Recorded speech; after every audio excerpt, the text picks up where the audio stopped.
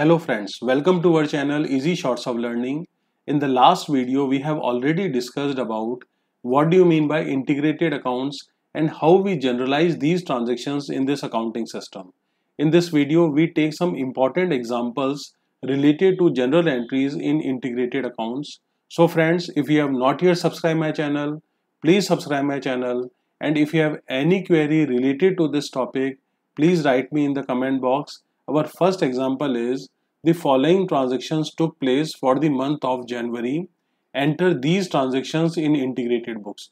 Now we have to journalize these transactions in integrated accounting. Our first transaction is material purchased costing rupees 50,000. Now when the material is purchased, it is increased in the store and debit what comes in. So we debit stored ledger control account and credit cash account because material is purchased in cash. So our entry is stored ledger control account debit to cash account amounted to 50,000. Our next transaction is return to supplier.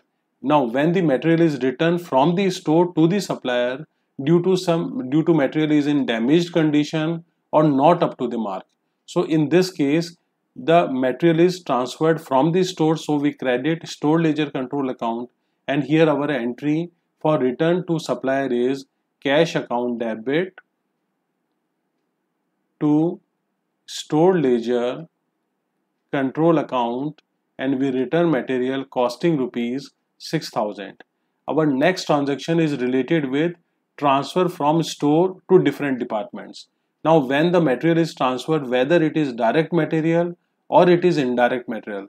In both the cases stored ledger control account is credited because credit what goes out and where the material is transferred that department is debited. In case of direct material transfer to production we debit WIP ledger control account and credit stored ledger control account because material is transferred from the store amounted to 30,000 rupees in our next transaction indirect material issued to production. So in case of indirect material transferred to production we debit factory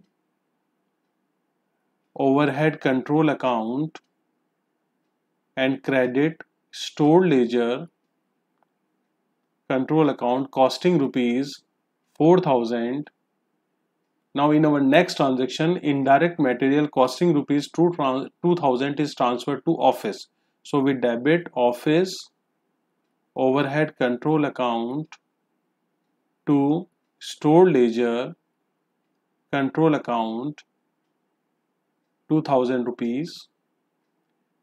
Our next transaction is indirect material is issued to selling department. When the material is issued to selling department selling department is the receiver. So we debit selling overhead control account and credit store ledger control account with the amount of 3000 rupees. Our next transaction is payment to creditors. Now creditors is our liabilities and when we pay liabilities the decrease in liabilities results in debit. So here our entry is creditors account debit to cash account costing rupees 30000 our next example is related with payment of wages and charging of these wages to different departments where the employees or workers giving their services or where they worked. Now when we pay wages, wages is an expense and all the expenses are debited. So in case of payment of wages or wages incurred, our entry is wages control account debit to cash account amounted to 1 lakh 20,000 rupees. Now when we charged wages, wages are charged with that department where the workers are employed or giving their services. In case of direct wages, we give these wages to those workers that are directly related with production. So we charge these wages to production department which is known as WIP ledger control account. So here our entry is WIP ledger control account debit and we charge wages from production. So we credit wages control account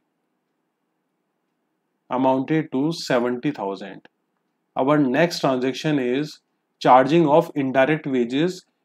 We give indirect wages to factory workers. So we charge from factory overhead ledger control account so our entry is factory overhead control account debit to wages control account and we pay wages to factory workers amounted to 30000 when when we pay salary to selling staff we charge from selling department. So here our entry is selling overhead or sorry selling overhead control account debit to wages control account with the amount of 5000 rupees.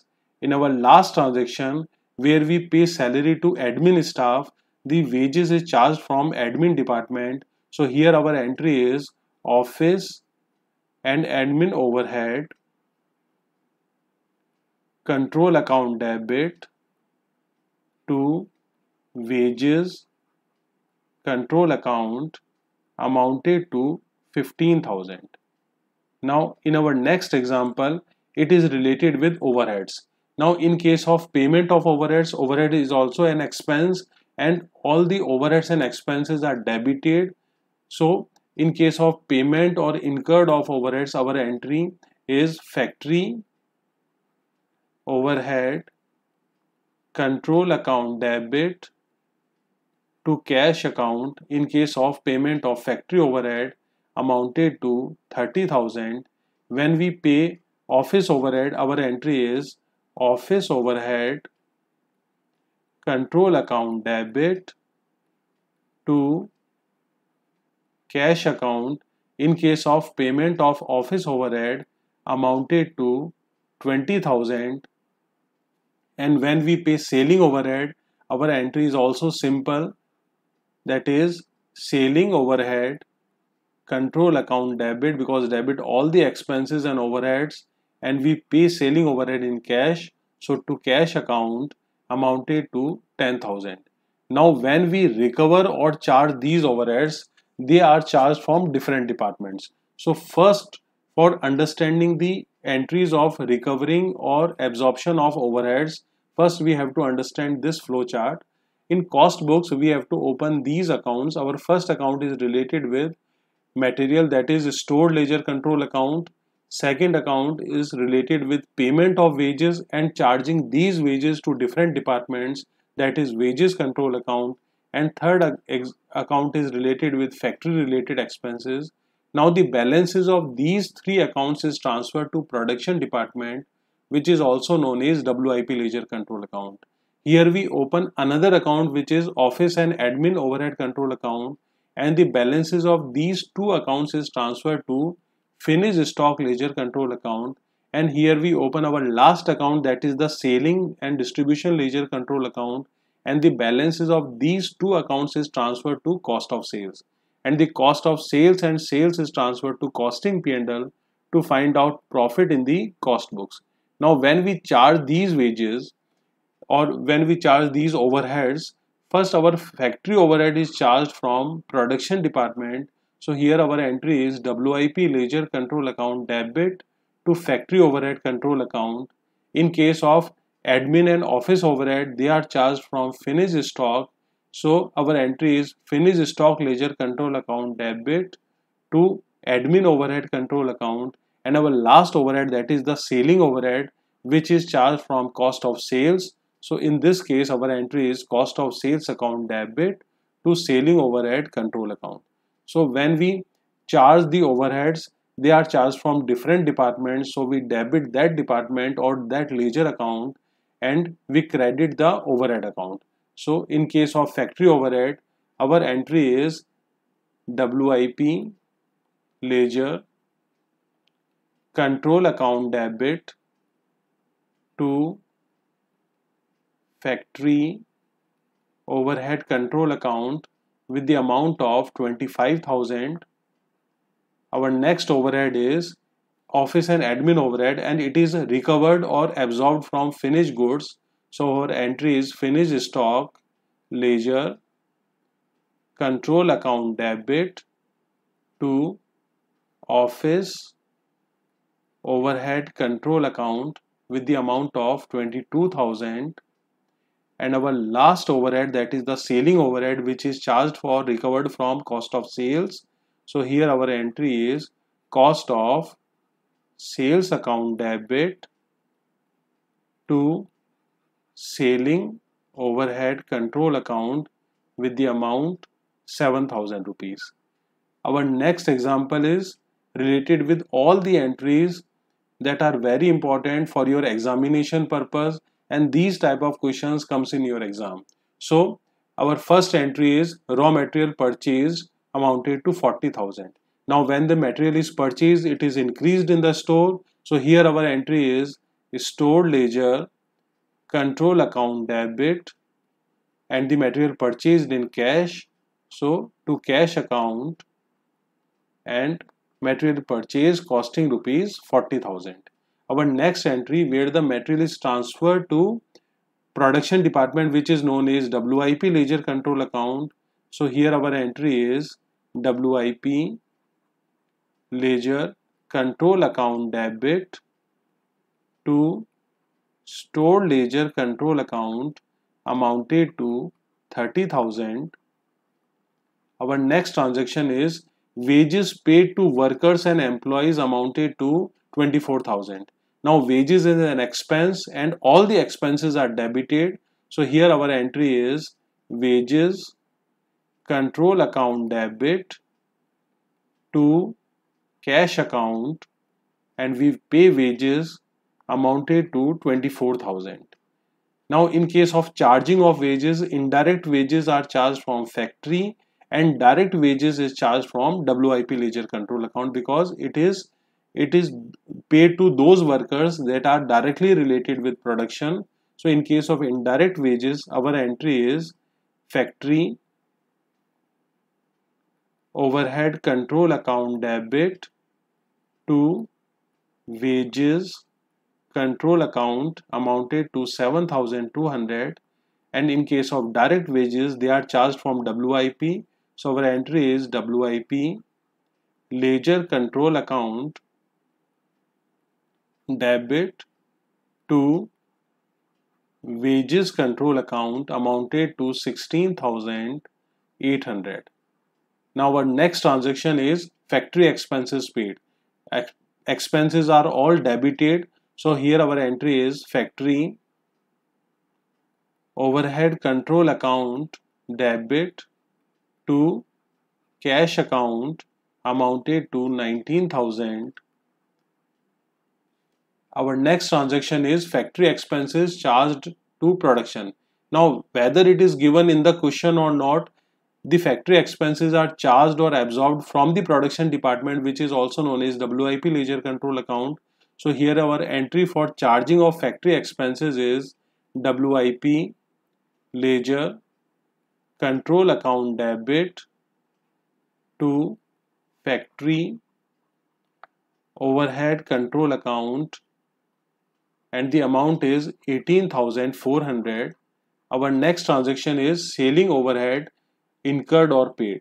When we pay selling overhead expenses and overheads are the um, are debited. So here our entry is selling overhead control account debit to cash account and the amount is 4000 our next transaction is finished goods at cost now when the finished goods are transferred from finished stock ledger control account to cost of sales then one is the receiver and another one is the giver so in case of where the goods are transferred from finished goods to cost of sales we debit cost of sales because debit what comes in and credit finished stock ledger control account. So in this case, our entry is goods are transferred from finished goods to cost of sales. So our entry is cost of sales account debit to finished goods yeah finished stock ledger control account and the goods are transferred costing rupees 40,000. Our next transaction is sales amounted to 58,000. Now sales is an income and the, all the incomes are credited. So here our entry is debtors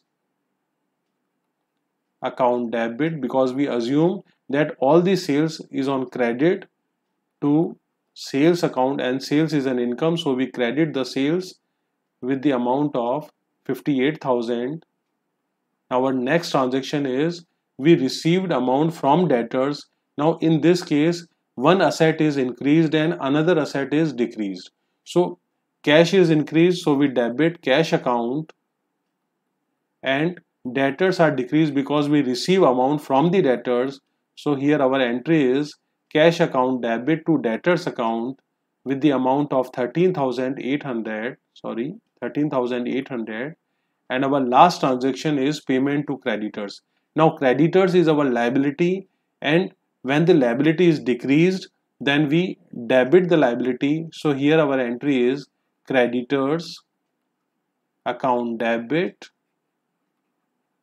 to cash account and the amount is 22000 so friends in this video first we understand the example related with journal entries of material. Our next example is payment of wages and charging of wages to different departments. Our third example is related with payment of overheads and charging or recovering of overheads and our last is an important example for your examination point of view so friends, if you like this video, please share this video and subscribe the channel. Thank you so much. Have a nice day.